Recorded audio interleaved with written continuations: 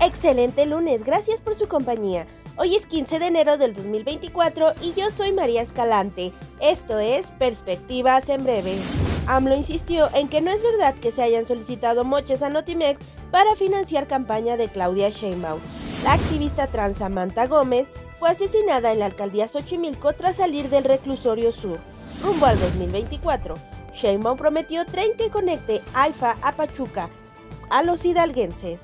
En el ámbito internacional, Bernardo Arevalo tomó protesta como presidente de Guatemala. En los espectáculos, murió el influencer Sebastián Bautista. Lo invitamos a que visite nuestra sección de opinión y lea Yo Campesino de Miguel Ángel Rocha, hoy titulada Cártel del Ganso, donde señala que encabeza el profeta de la 4T, grupo criminal, rapaz e impune.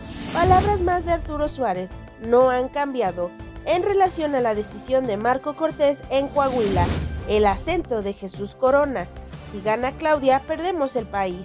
Síganos en redes sociales y visite nuestras páginas www.perspectivas.mx y www.yocampesino.com.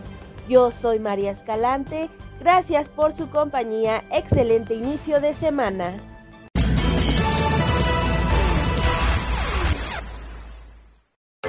Si sufres de diabetes o quieres cuidar tu salud, Shilinat, sustituto natural de azúcar.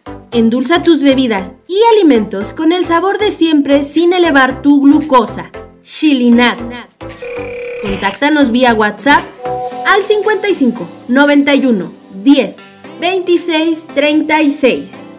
Shilinat.